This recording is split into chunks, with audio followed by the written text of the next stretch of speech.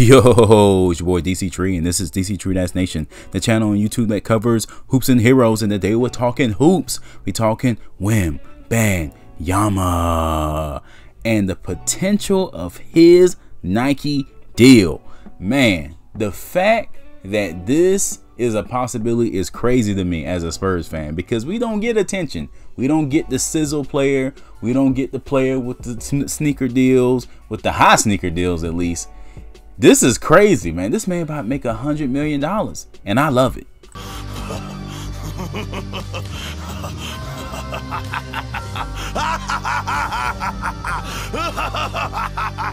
because when you really think about it, this is an indicator that the hype train for this guy is real. And I hope he lives up to the hype. I'm sure he will. I have faith he will. But it's exciting to know that we have a player with some sizzle. No longer are we going to be ignored on the national stage. No longer are we going to have to go to the cracks and crevices of trying to find Spurs games. A lot of our games are going to be televised because of the hype behind this shoe deal, because of the hype behind this player, man. This is a big deal, man. When I saw this headline, I freaked out.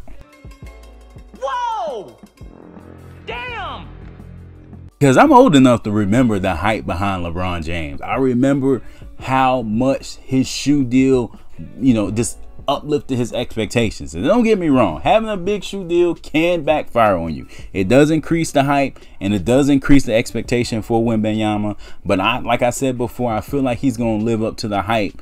And that just brings more dollars for Spurs Nation, more dollars for the San Antonio Spurs organization, more attention, more hype. And the more they're hype, the more I'm hype as the fan, the more hype Spurs Nation is, and the more views I'm going to get on YouTube. You ain't lying. don't get me wrong, it's not about the views, man. It's about the hype train. At last, we got the hype train back in San Antonio, man.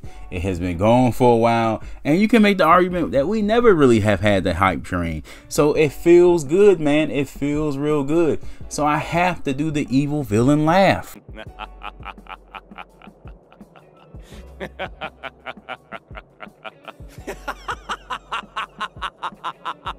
as of this video, there's no guarantee that he's going to even sign with Nike. Now, it is some rumors that he have he has some kind of preliminary deal with them through the French team. I don't know how true that is, but he could still, in theory, sign with another organization because he's going to get deals at least according to this article. And i didn't know that lebron james only got 87 million from nike and was offered 115 by reebok and turned it down. That's wow i do think in retrospect that was the best decision because obviously nike is on top. I wonder if Wembanyama is going to stick with nike regardless okay? I wonder if this is going to transform into his own signature shoe.